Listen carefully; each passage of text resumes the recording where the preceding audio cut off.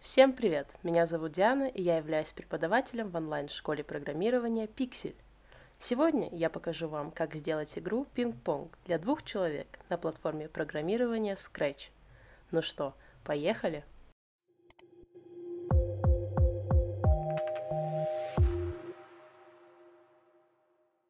Подпишись на канал и поставь лайк этому видео.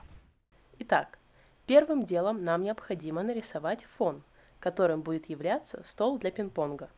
Разумеется, его цвет может быть любым, но, как мне кажется, самый узнаваемый стол для тенниса – зеленый. Ну что ж, выбираем подходящий нам цвет с помощью бегунка. Затем инструментом прямоугольник растягиваем фигуру так, чтобы она полностью закрывала игровое поле и не было видно краев прямоугольника. Теперь выбираем инструмент линия и ставим толщину обводки. Затем выбираем цвет обводки. У меня он будет белый, чтобы имитировать разлиновку на теннисном столе. Затем переносим эту линию на центр экрана. Далее тем же инструментом рисуем перпендикулярную линию ближе к верхней части экрана. Таким образом, наверху получились две секции. В дальнейшем тут будет написан счет игры. Теперь нам необходимо создать секции на обеих сторонах, которые в дальнейшем будут являться сенсорами для забитых голов. Для этого берем прямоугольник и выбираем контрастный цвет, например, красный.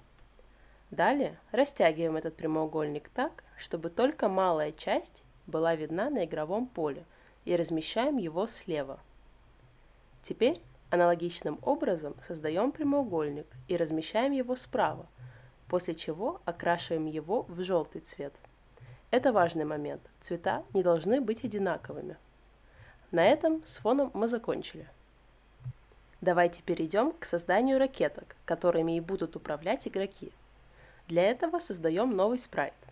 Здесь выбираем инструмент прямоугольник и растягиваем его в форме ручки для пинг-понга. Также добавим небольшую обводку, например, в два пункта. Теперь необходимо подобрать цвет, которым мы закрасим ручку. Мне кажется, что большинство ручек делают из дерева, поэтому я заливаю ручку коричневым цветом. Но это не должно ограничивать вас. Вы можете фантазировать и выбрать любой понравившийся цвет. Далее надо сделать накладку, то есть часть, которой отбивается мяч. Так как мы рисуем вид сверху, круглая накладка не будет иметь вид круга. Она исказится и примет форму овала или эллипса. Нарисовав ее, закрашиваем ее в любой цвет. Я выбрала бордовый. Теперь совмещаем две части ракетки и размещаем ручку так, чтобы из-под накладки была видна небольшая ее часть. Теперь выделяем оба объекта и группируем их в один рисунок с помощью кнопки «Группировать». Далее копируем выделенную ракетку и с помощью Ctrl-C копируем изображение. Создаем новый спрайт и вставляем скопированное изображение туда. Далее необходимо поменять цвет накладки. Это, конечно, не обязательно, так как цвета ракеток в коде участвовать не будут. Однако так игра будет выглядеть интересней.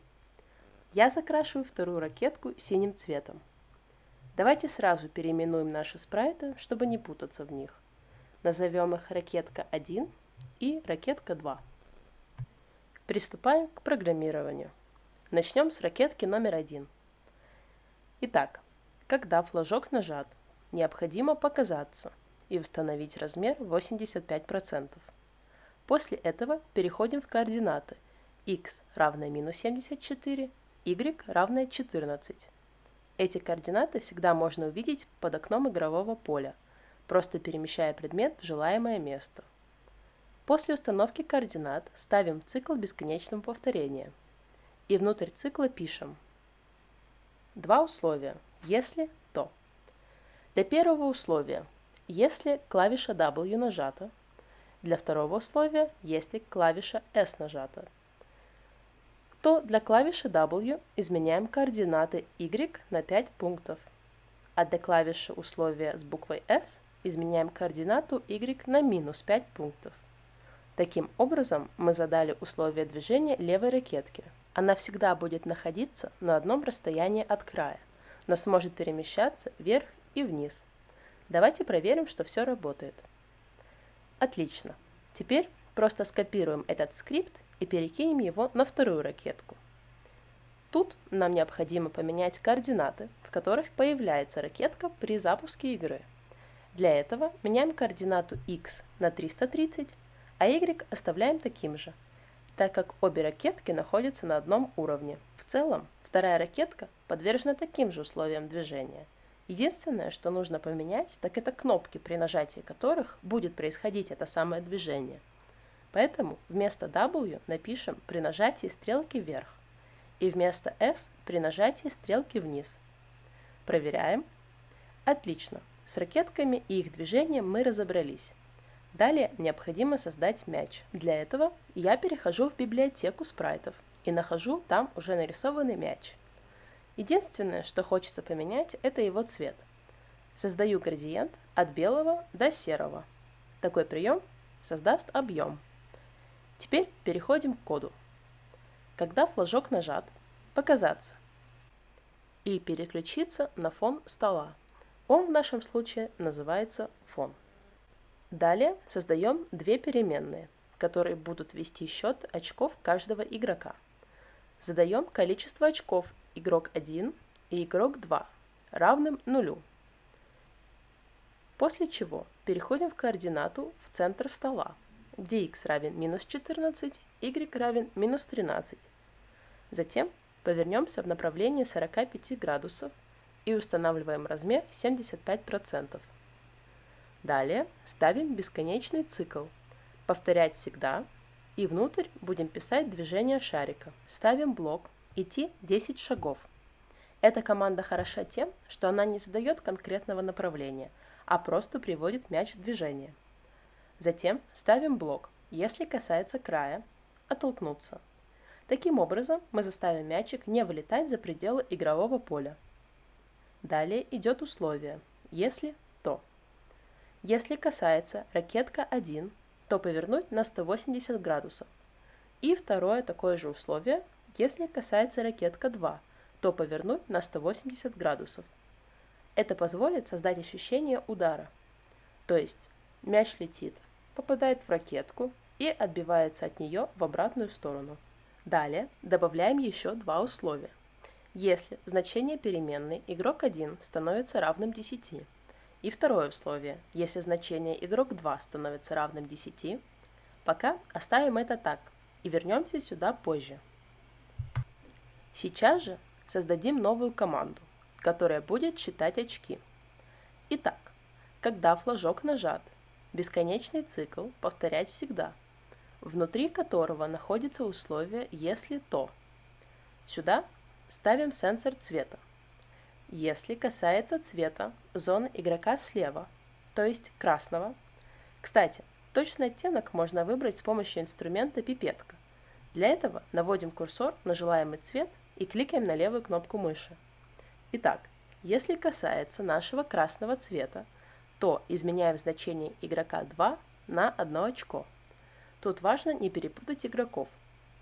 Затем Необходимо ждать до момента, пока мячик не перестанет касаться красного цвета. Что мы имеем? Мячик залетает в зону за ракеткой, касается красного цвета, очки игрока, который его отправил, увеличиваются на 1.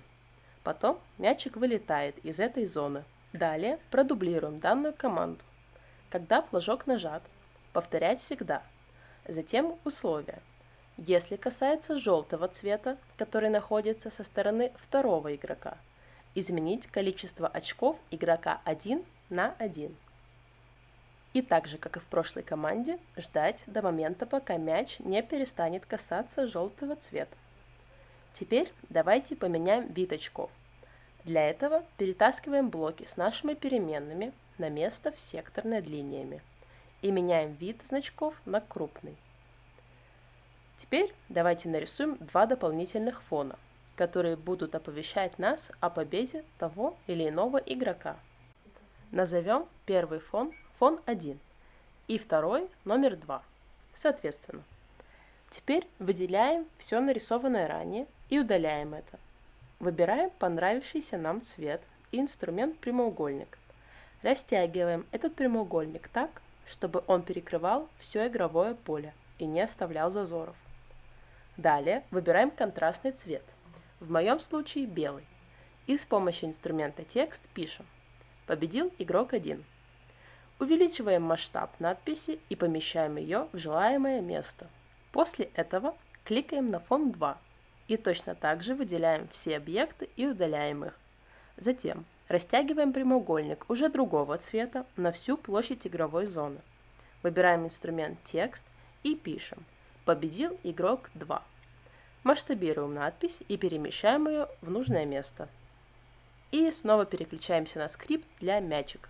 Помните те два недописанных условия? Так вот, мы возвращаемся к ним. Итак, если количество очков у игрока 1, то есть переменная игрок 1, становится равной 10, то переключаем фон на фон 1, который символизирует победу первого игрока.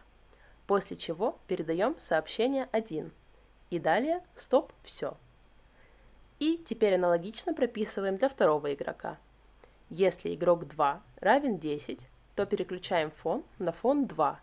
Затем передаем такое же сообщение 1 и стоп, все. Осталось только прописать команды, когда я получу переданное сообщение 1. Итак, когда я получу сообщение 1, надо спрятаться. Давайте продублируем это сообщение для оставшихся двух спрайтов ракеток. Делаем мы это для того, чтобы когда менялся фон на надпись победителям, все остальные спрайты становились невидимыми. Ну что ж, пришло время тестировать то, что у нас получилось. Запускаем игру. Смотрим, что управление с помощью выбранных клавиш работает. Шарик летает по правильной траектории, и очки меняются в соответствии с забитыми голами. Сейчас мы добьем до момента, пока у одного из игроков не станет 10, и посмотрим, работает ли наша система оповещения. Отлично, как мы видим, все работает. Ну вот и все. Сегодня я вам показала и рассказала, как сделать игру в пинг-понг. Если вам понравилось использование платформы программирования Scratch, и вы бы хотели придумать и воплотить в жизнь свой личный проект, то добро пожаловать в онлайн-школу программирования Pixel. Мы рады всем! Вся информация доступна по ссылкам в описании. Подписывайтесь на наш YouTube канал, а еще заглядывайте в наш блог на Яндекс.Дзене, чтобы не пропускать новые видео. Всем пока! Увидимся в следующем видео.